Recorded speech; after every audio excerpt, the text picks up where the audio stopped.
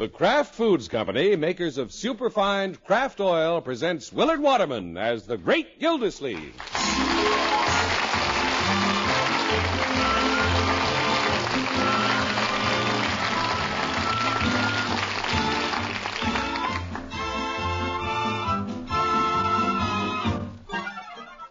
The Great Gildersleeve is brought to you, partially transcribed, by the Kraft Foods Company. When I tell you that wonderful new Kraft oil is a superfined oil, here's what that means. Kraft oil has been refined to the highest degree of purity and lightness. And that's just why it's a better oil for your homemade salad dressings and baking. Superfining gives Kraft oil lighter body to blend faster and better with other ingredients. Next time you're shopping, get superfine Kraft oil for finer baking and delicious homemade salad dressings.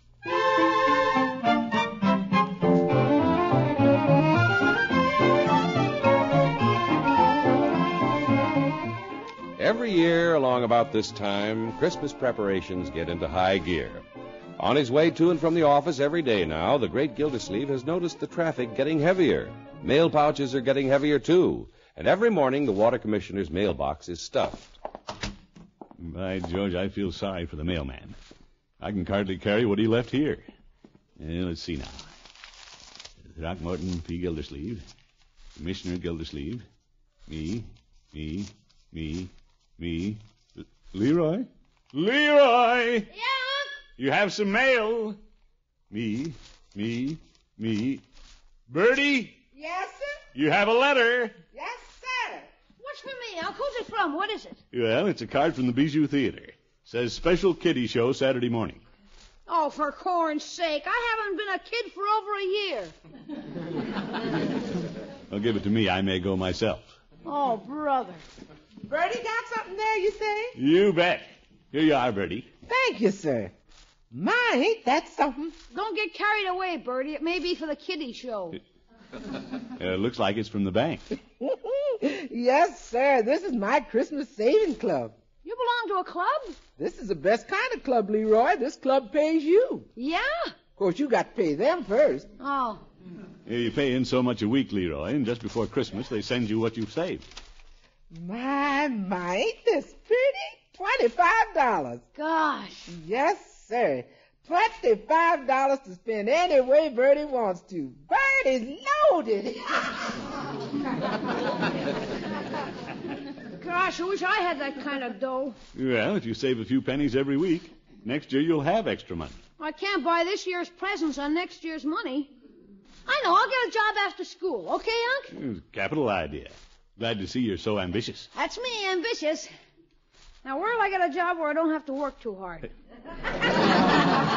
Yes, yes. I know. I'll ask Mr. Peavey for a job delivering prescriptions. No, Leroy, I'd rather you didn't ask my friends. Mr. Peavey's my friend, too. He might feel obligated to hire you, whether he needs you or not. Yeah. Oh, what a...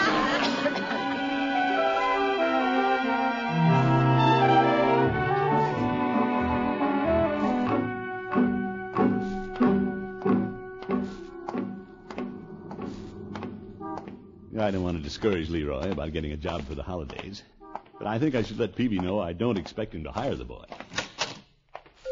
Hello, Peavey. Yeah, hello, Mr. Gildersleeve. What can I do for you today? Peavey, you don't need anybody to deliver prescriptions, do you? Running a little short of Christmas money, are you? No, Peavey. well, I guess I can use you if you can ride a motor scooter and ring a doorbell. Peavey, I'm not interested. Well, then why do you come in and ask? I came in to inform you that Leroy's interested in a part-time job, Yes? but I don't want you to feel obligated to give him one. Well, I don't need a delivery boy, but I could use a good salesman during the Christmas rush. Yeah, Leroy couldn't handle that. Still, I, I hate to turn Leroy down. Well, how about offering him a job on a commission basis? Leroy's smart enough to know he wouldn't make any money that way. Selling on a commission basis was very discouraging to me as a young man. You've tried it? I'm here to tell you. My first job was peddling potato peelers. I demonstrated those things from morning to night. He didn't make any money, huh? No, but I peeled more potatoes than any ten soldiers on KP. Yeah. Hi, Mr. Peavey. Well, hello, Leroy. Hi, Hello, my boy. What can I do for you, Leroy? Mr. Peavey, I've got a business proposition I want you to make me. You don't say. How about an after-school job? Well, I, I'd work hard, I imagine you would. and I wouldn't but... hang around the fountain and eat up all the profits. Strictly business. Well, what I do you don't- say? Well, you won't give me a chance to say anything. Oh, sorry.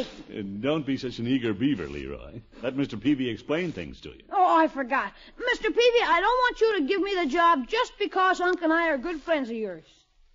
And good customers. well, to speak plainly, Leroy, what I could use best here is an experienced salesman. Yeah? Uh, About the only way you could work for Mr. Peavey, my boy, is on a commission basis. Commission basis? How much money's that? Hmm, it all depends. You don't make anything unless you sell something. Oh. Peavey tried it once, Leroy. How'd you do, Mr. Peavey? Not very well. And I have two dozen potato peelers to prove it. A pretty discouraging proposition, Leroy. Nothing coming in unless you get lucky and happen to sell something. Well, on the other hand, the more you sell, the more money you make, huh? Well, yes. I'll take the job.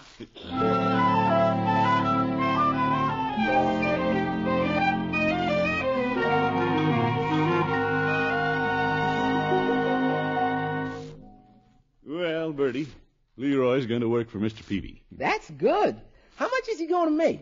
He's working strictly on commission. Uh-oh, that's bad. Peavey and I tried to discourage him, but you know how Leroy is. Yes, sir. There are plenty of jobs he can get around town where they'll pay him regularly. Yes, sir. Uh, Birdie, why don't you talk to Leroy? I'll do that. I'll catch him while he's in the kitchen shining his shoes. All right. Good luck, Birdie. Uh, uh, Leroy, Yeah? your uncle tells me you're going to work for Mr. Peavey. Yeah. Keen, huh, Birdie? Well, it ain't no use going to work just to be working. How much money you going to make? Five percent on everything I sell. Leroy, Birdie's a little slow on her arithmetic. How much is 5% of nothing? What do you mean nothing? I'm going to sell like crazy. I hope so, but you're just a boy. What do you know about selling people when they come to a store? Ah, there's nothing to it. They ask for something, you wrap it up, take their money, and put it in the cash register. Bing! Then Mr. Peavey gives me my cut. Uh, that's the rosy side. But Mr. Peavey's drugstore ain't the busiest place in town. And if you're on commission, you got to sell a lot of people. Oh, I've got angles. Birdie, what would you do if I told you somebody was going to surprise you with a real nice Christmas present? I'd be very happy. Uh, Yeah, yeah, but what would you do about it if you knew who was giving you the present? Naturally, I'd have to get them something nice, too. Oh, boy, it's going to work. See you later, Birdie. Okay. Hmm, let me figure this out now. If he sells somebody a present to give me and tells me about it so I can buy a present to give them, then he gets 5% on both presents. Hmm, that ain't bad. Birdie, Yes, Mr. Gilsey? did you convince Leroy he'd be a silly boy to take the job? No, sir. Oh? He convinced me he's the smartest silly boy I ever saw. What's going on here?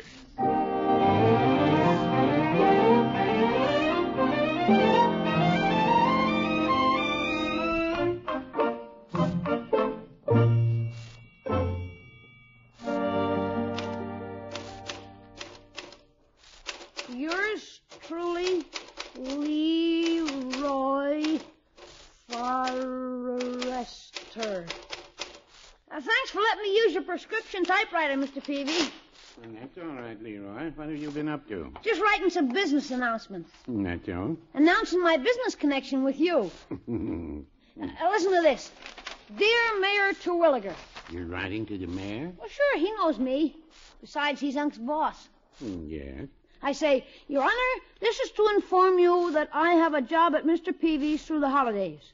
Since you're so popular and probably will get presents from all your city commissioners this year, I would like to have your business when you buy presents for them, which you no doubt will do. Are they all giving the mayor a present? Well, I'm pretty sure they're going to. That would be nice. Uh, you don't mind this P.S., do you? What is it? When you come in the store, please buy from me. I'm on commission. If you drum up the business, you should get the commission. Swell, I'll put Christmas seals on 'em and mail 'em right out. Well, I'm glad to see you use Christmas seals, Leroy. They brighten up a letter and brighten up a lot of lives at the same time. Yeah. Hmm, here's your uncle. Yeah, Let me wait on him. Hello, Peavey. Mr. Gildersleeve? I see your new salesman is on the job. Yes, he is. Good evening, sir. May I show you something? I just came in to see how you're getting along, Leroy. You mean you're not going to buy anything? No, no, you know I've done my Christmas shopping. Leroy, if you'll watch the front of the store, I'll go back and mix a prescription. Sure. Uh, make yourself at home, Mr. Gildersleeve. Yeah, thanks, Peavey. Hey, Unc, let's walk up front where Mr. Peavey can't hear us. Oh, aren't things going well? They will. What's on your mind? Unc, if you heard somebody might give you something nice for Christmas, would you buy something for them?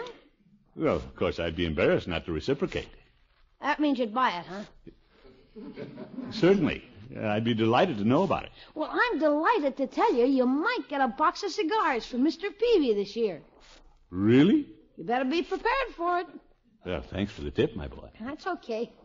What are you going to pick out for him? Well, any suggestions? Sure, he needs a new fountain pen. His is all clogged up. Oh? Now I've got a bargain here for three ninety nine. Look, it writes in three colors. Yeah, well, wrap it up and bring it home with you, Leroy. Sure. And put it on my bill. Wouldn't you like to pay cash? Why cash? Well, I don't want to wait until you pay your bill to get my commission.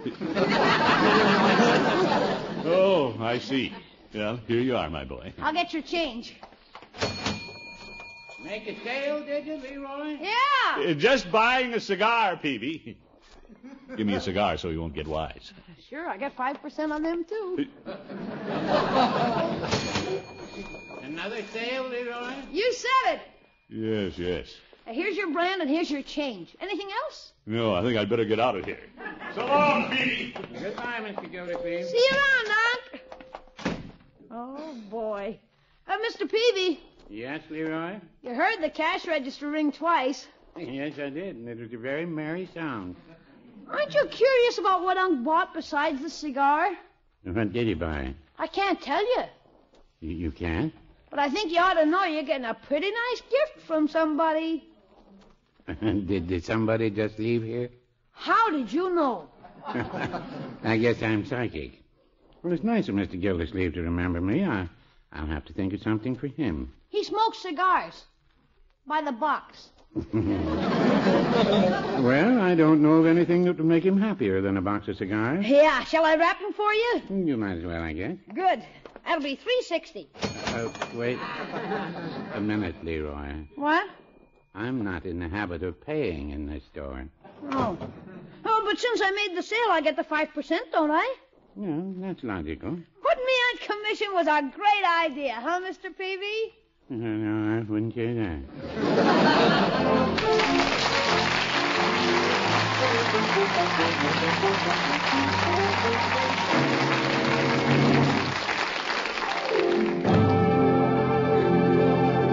The Great Gildersleeve will be right back.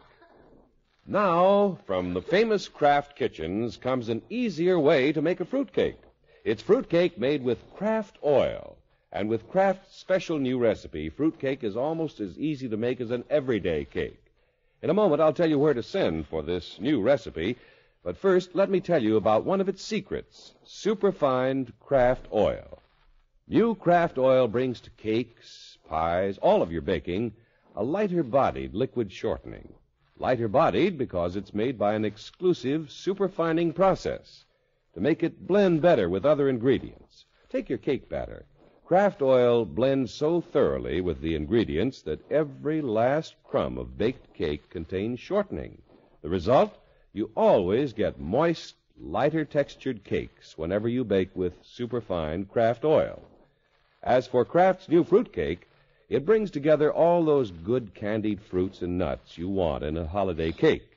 You can bake it in a high tube pan, or in loaf pans, or even in little muffin tins, making bite sized individual fruit cakes. Best of all, it tastes rich and wonderfully delicious without being aged. For this new, easier fruitcake recipe, write to Kraft Kitchens, Kraft Foods Company, Chicago 90, Illinois. drop us a line tonight. And tomorrow, get the most wonderful oil ever created for baking and homemade salad dressings. Get superfine Kraft oil.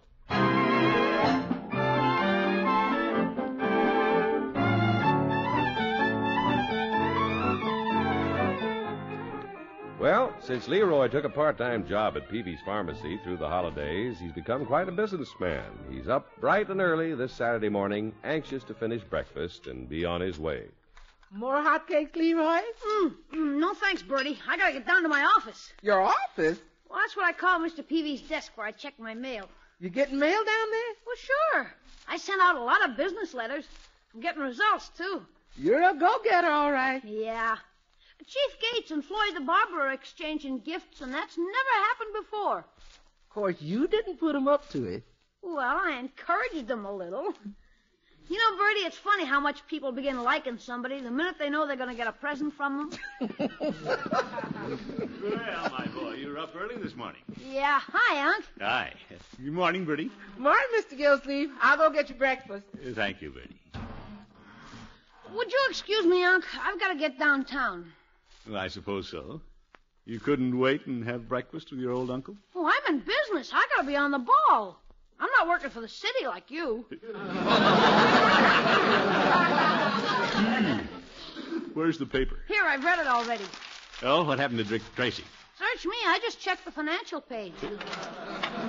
Financial page. Oh, my goodness. See you at dinner, Unc. You're all right, my boy. So long, Birdie. Bye, Leroy. It's eight fifteen. If I hurry, I can be there by the time Mr. Peavey opens and starts selling stuff. Hello, Leroy. Oh, hi, Mr. Cooley. You're bringing eggs early this morning. You're out early, too. Yeah. I didn't think anybody got up before the chickens except the egg man. Well, I'm working at Mr. Peavey's. Yeah, see you later. Hey, I don't have to wait till I get down to the store to sell something. Mr. Cooley! Yes, Leroy. I was just thinking, does Unc have your home address? He did have. Why? Well, Christmas is coming, you know. This is the time of year everybody's supposed to give everybody a present. Oh, Mr. Gildersleeve shouldn't do that. Well, he may not, but he always has something for the mailman and the milkman. Why should he forget the eggman? He shouldn't. Thanks for telling me, Leroy. It's okay. I'm glad I ran into you. I'm glad I ran into you, too.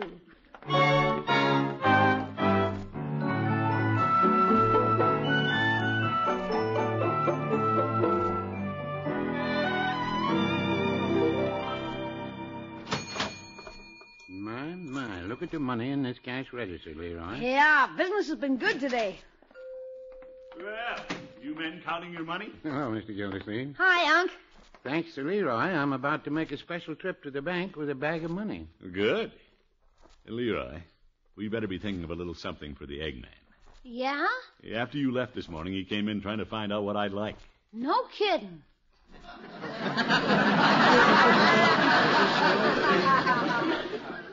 He's an awfully nice little fellow. Yeah. Seems to think a lot of me. Fellow doesn't know how many friends he has until Christmas time. That could be. Seems everybody I know is giving me something. And I've never felt so generous toward everybody. Well, a lot of people have come in here feeling that way. Yeah, it's working like a charm. What? I mean, uh, the way everybody's got the holiday spirit. Yeah, well, it's contagious. By the way, Leroy, I haven't bought a gift for Miss Tuttle. You don't want to forget your girlfriend. How is Miss Tuttle? Lovely. I'm on my way up there now. Leroy, someday at school, I wonder if you can find out what kind of perfume she uses. Oh, sure. I'll find out the scent for 5%. Well, I'd hint around myself, but she's a school teacher and might see through me. Guess I'd better get on up there. So long, Unc. Uh, Mr. Gildersleeve, if you're going my way, you can help me carry this sack of money to the bank. Uh, be careful with it. 5% of it's mine. don't, don't worry, Leroy. Quite a little businessman, isn't he, Pete? Yes, he is. So he's going to give her perfume. Wonder how much I'll make on that. Better look at a bottle. Twenty-five dollars an ounce? Why wait until I get to school to swap this sale?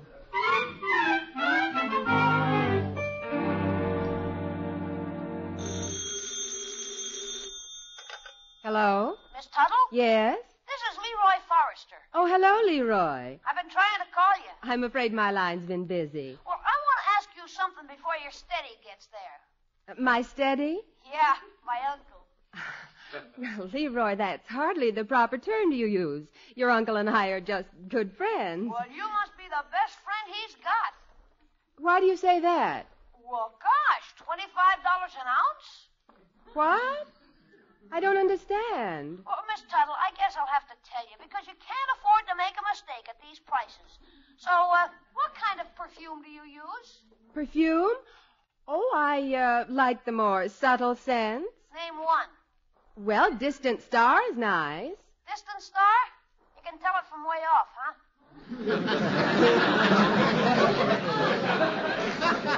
Uh, Leroy, your uncle really shouldn't give me anything. He wants to. What a wonderful gift. Of course, this was supposed to be a surprise, Miss Tuttle, and it is in the way because you don't know how many ounces you're going to get. Good heavens. Incidentally, if you're buying any gifts, I'm selling for Mr. Peavey. Oh, really? Oh, excuse me, Leroy. Someone's at the door. Yeah, I heard it. I'll hang up so you can let Unc in. Bye. Bye. What a fabulous gift. I'm glad Leroy let me know. I'll have to get something for Mr. Gildersleeve. Miss Tuttle. Oh, uh, just a moment, Throckmorton. Oh, I never called him that before. Oh, let me straighten this coffee table. Coming. Hello, Throckmorton. Well, Miss Tuttle, you look radiant. Must be because I'm excited. You are? Come in. Uh, thank you. Uh, uh, Grace, well, I knew it. I just didn't know if I should say it. please do. Thank you, Grace. Here, let me take your hat and coat. Uh, can I fix you some tea? Tea? Why don't you take this big, comfortable chair? Oh, thank you. Mind if I smoke? Gracious, no, I love your cigars.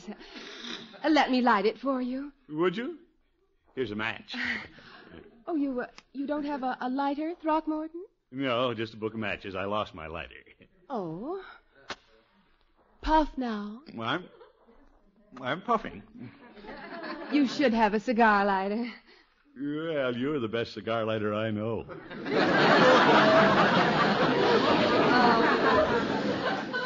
well, Grace, what'll we do this afternoon? Well, do you mind taking me downtown? Oh, not at all. I thought I'd finished my Christmas shopping, but I find I haven't. Well, let's go.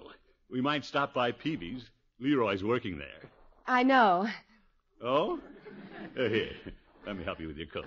Thank you. Heady perfume. About perfume, Throckmorton. If you ever have occasion to buy it, uh, please be practical. Uh, practical? Don't buy too large a bottle at $25 an ounce. Twenty-five dollars.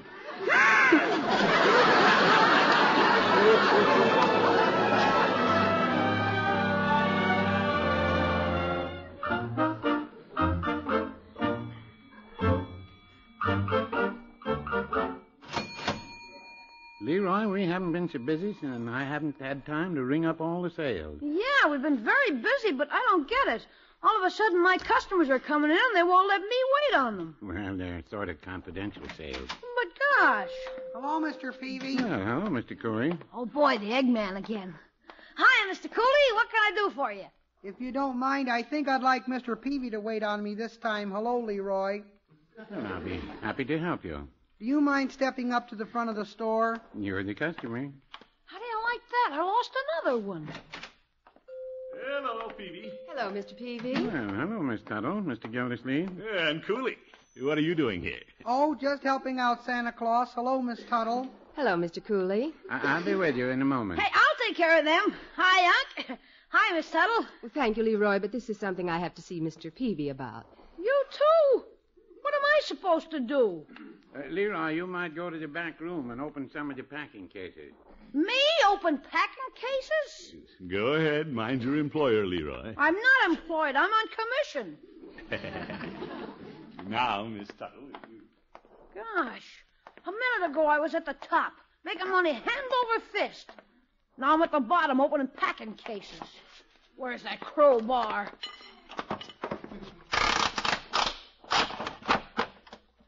Leroy. Yeah? What's the matter, my boy? I had a good thing going, but nobody lets me wait on 'em anymore. Well, I happen to know the reason Miss Tuttle didn't let you wait on her. Is she's buying you a gift. Yeah? Peavey tells me that's what the Eggman is doing. And all your friends. You mean they're all giving me presents? Yep. They appreciate the little tips you gave them. Hey, that was pretty slick, huh? Slick? Well, letting everybody know they were getting presents so they'd buy something for the other fella. So that's what you've been up to. Yeah, Well, I guess it hasn't hurt anything. Everybody seems happy. especially me. I got all my commission money and a lot of presents besides. Well, I'm afraid you won't end up with much money, Leroy. I won't? Now you have to buy presents for everybody who's giving something to you. Oh!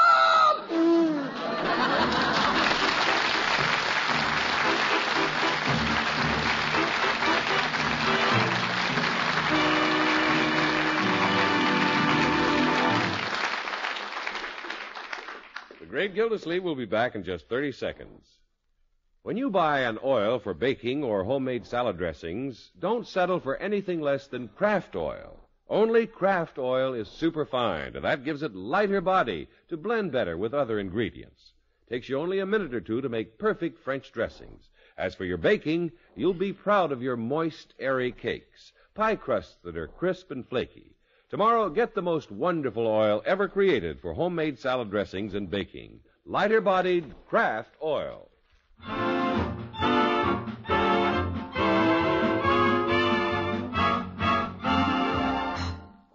Well, Leroy, are you glad you took this job with Mr. Peavey? Sure.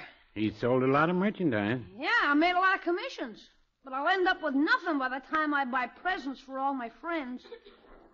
I'm not the big shot businessman I thought I was. Well, now, Leroy, I'm going to help you out a little. Here. Here's five dollars. Five dollars? Gee, thanks, Unc. Well, what's it for? Well, Miss Tuttle has never been more cordial to me. I uh, appreciate your phoning her about the perfume. Hi, you're swell, Unc. And so are you, Mr. Peavey. I'm going to buy all my presents in your store. My, my, that'll be nice. Oh, uh, by the way, Mr. Peavey, I understand the employees at Hogan Brothers get 10% off. You don't say. Yeah. You're not going to let Hogan Brothers get ahead of you, are you? No, I, I'm not. Ah, Keen, that's 10% I'll make. Very well. And then if I sell everything to myself, my commission is 5%. That's a total of 15%. Hey, I'm doing all right again. Oh, what a boy. Good night, folks.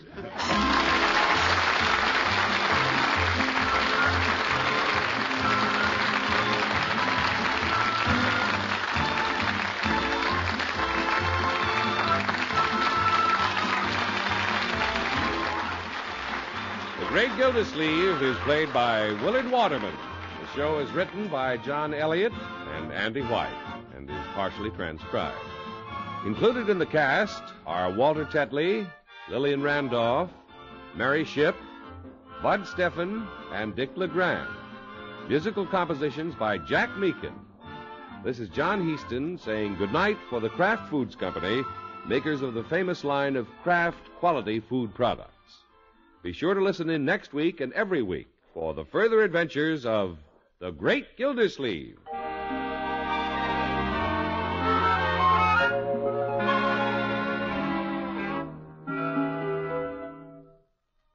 The most important jobs we Americans have is telling people behind the Iron Curtain the truth about the free world. And there's a way that you can take a personal part in this campaign. That's by supporting the Crusade for Freedom. When you contribute to the Crusade for Freedom, you're helping expand Radio Free Europe and Radio Free Asia.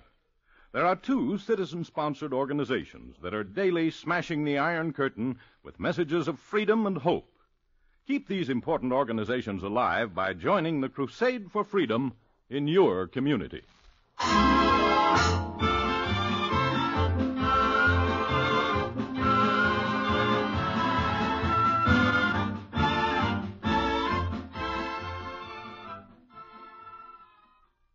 Tonight, play You Bet Your Life on NBC.